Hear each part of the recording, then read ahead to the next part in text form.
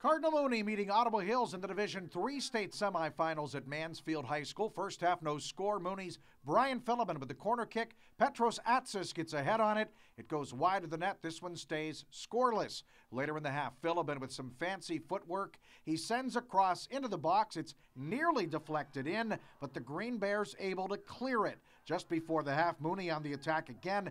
Philibin fires from 30 yards out, but his shot is wide. This one stayed scoreless into halftime. Sava Pazanius tallied the game's lone goal in the second half. Mooney prevails 1 0 and advances to face Cincinnati Mariemont in the Division III state championship Saturday at 1 o'clock in Columbus.